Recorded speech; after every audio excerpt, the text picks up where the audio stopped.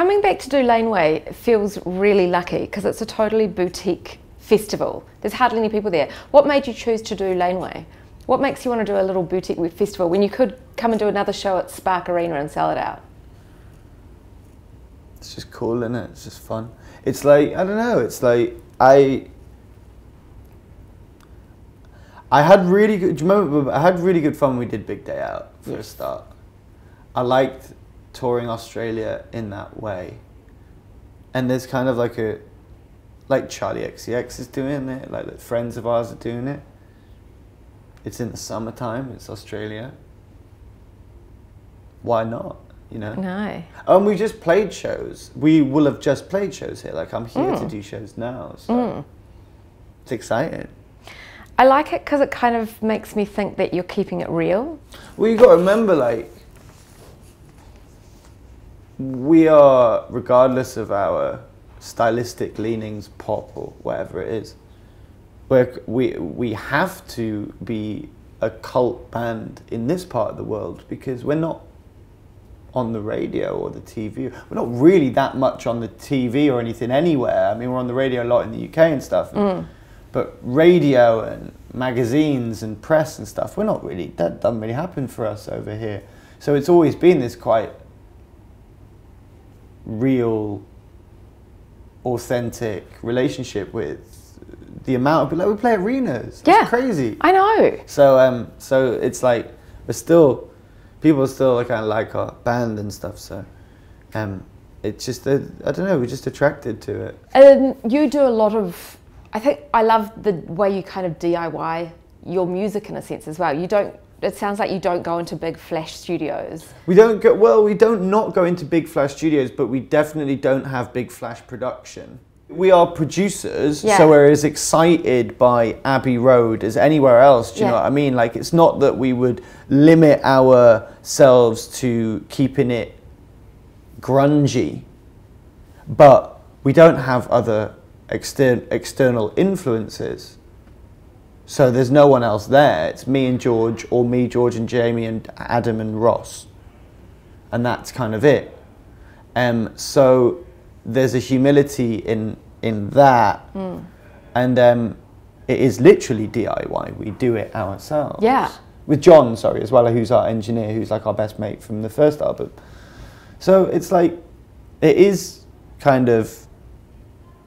We, we grew up in like punk music and hardcore music, like an, and emo music, Yes. kind of, and um, that's what we kind of did. It was the first time you could like do stuff on like your laptop, and, Mm. like late 2000s. So that's kind of what we did, and that's what we've always done.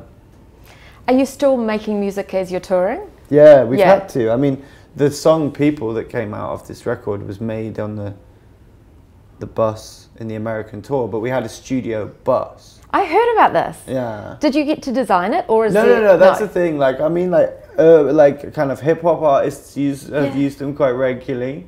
Um, it's it's it's instead of a back lounge with a TV and stuff, you just have like a setup to kind of record. So we, we did like people for its majority on there, and a lot of stuff kind of happened on there. So that's kind of how we've been doing it.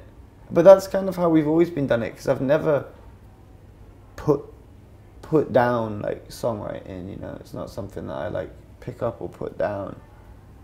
What's the drive to keep releasing things though? Because I feel like lots of artists um, are recording more Mm. and releasing more often.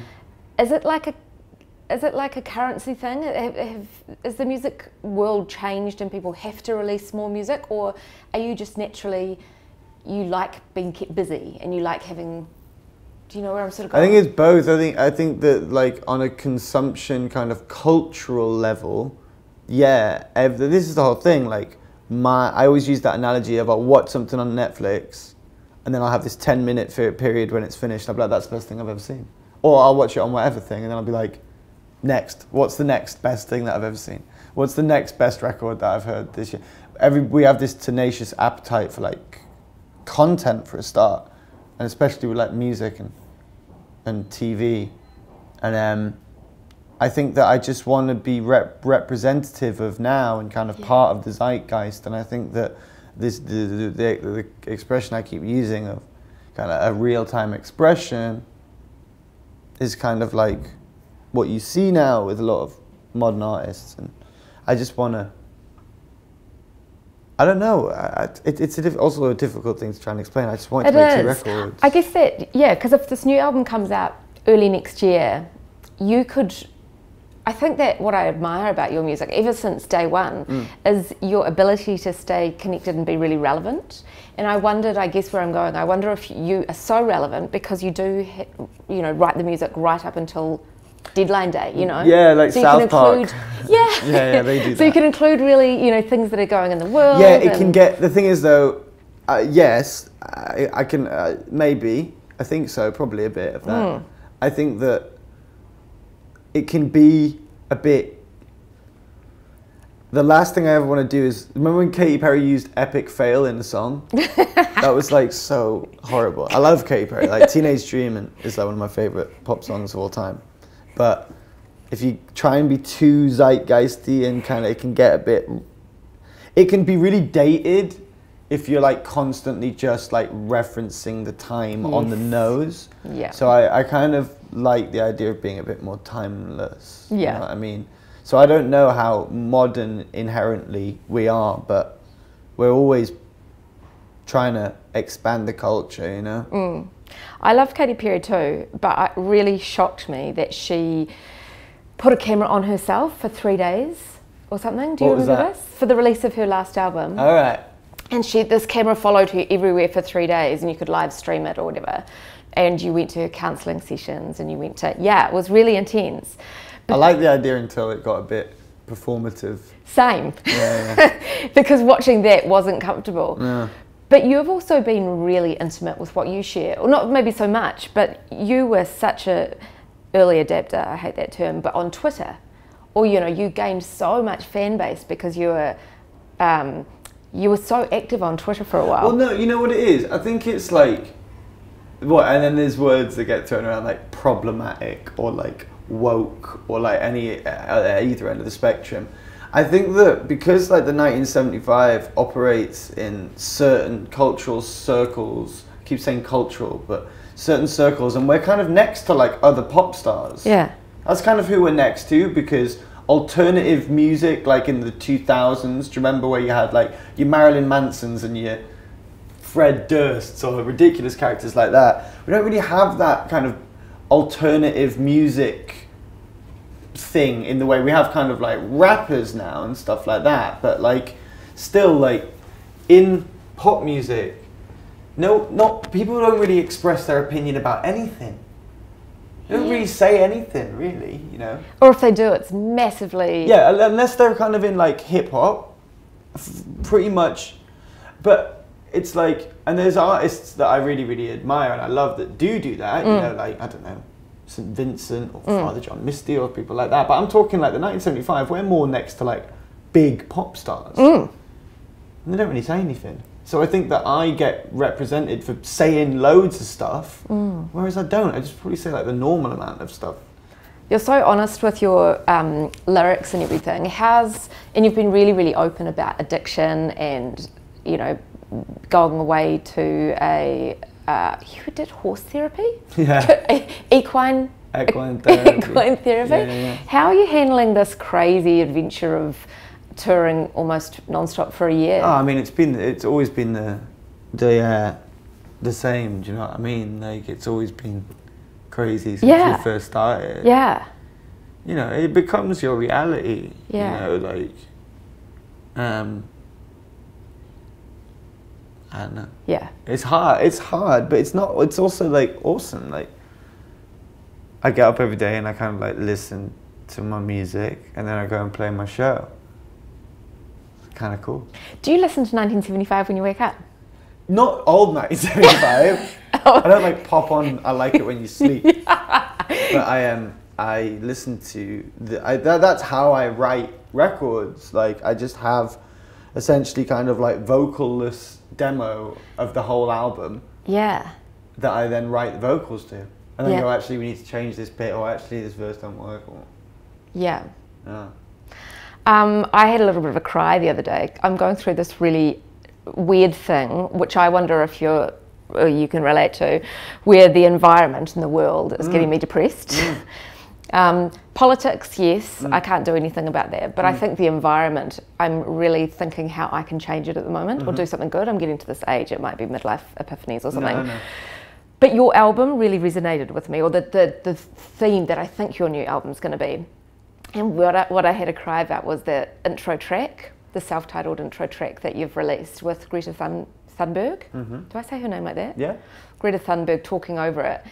And it, she's so eloquent and she's so awesome. Mm. And I wondered how, how you've come about for your next album to be quite focused on the environment. Well, I, I think that, like, with a brief inquiry, the last album, it wasn't really that. There was a couple of tracks that were about the fear of the internet overtly, but mm. everything else was about me.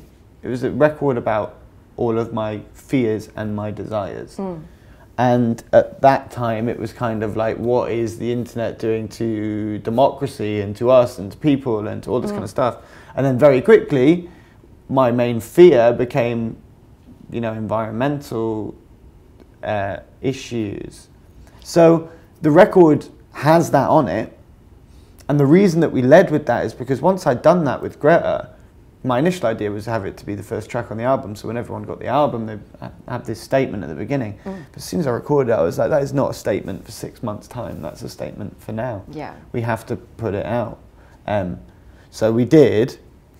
So it's not really a record about the environment. Oh, it's not. Well, I mean, people is a bit the song, you know, and and th- th- there is moments on there that are about that, but it's another record about me. I mean, to be honest with you, like we kind of had moments, even though we most people uh, in our situation probably make like their most flash record.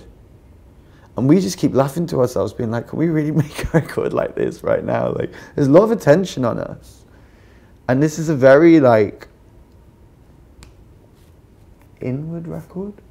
Because yeah, the internet. Uh, yeah, I was trying to sort of, I guess, overthink where you were going. Because the internet album, totally, you can change your attitude, and you can. Because are you online at the moment? Yeah, Yeah. On- Yeah. Yeah. I'm on I'm on uh, Instagram more than I'm on Twitter because I find Twitter a bit insane. Yeah. Yeah, kind of a whole corridor of screams.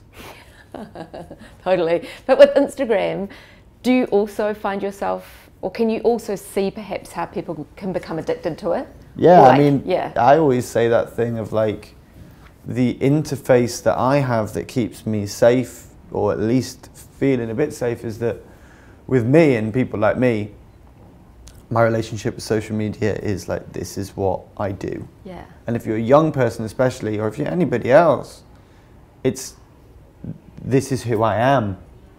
And like with, and even though like who I am and what I do are incredibly intertwined, there is a separation there to a certain extent.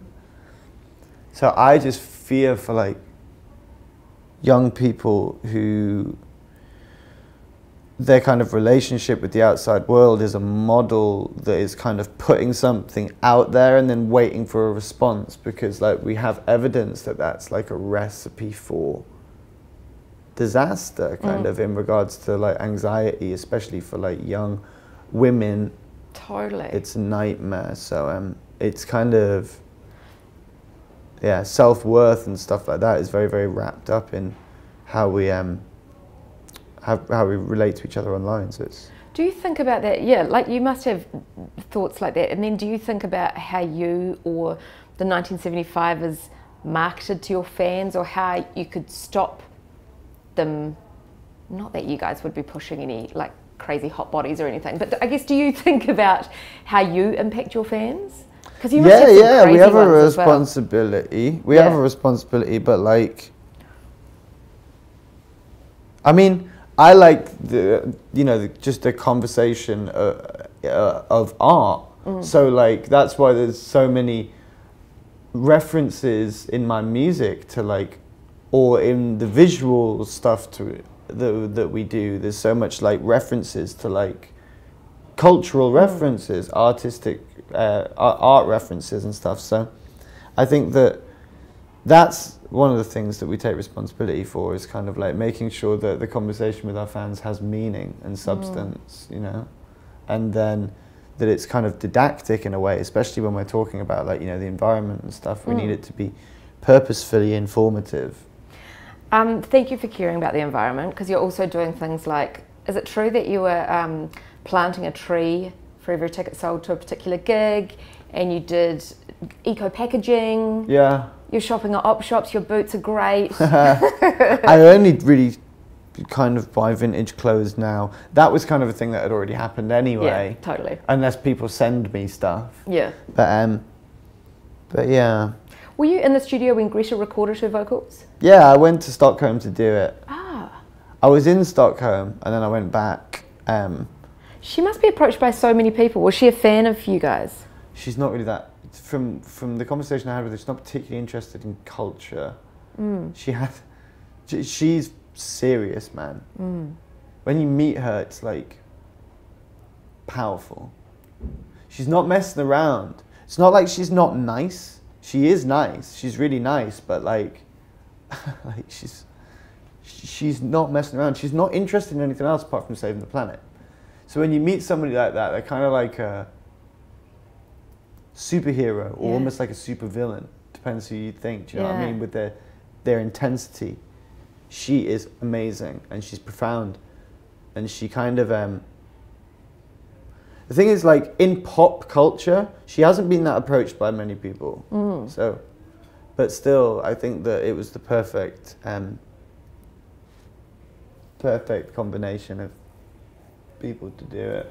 Will she continue her relationship at all with the 1975 or was that sort of a one off? I mean, she's not going to be like doing any guitar solos. She might. No. I'm sure we'll see her again on our travels, you know. yeah. Yeah. Yeah.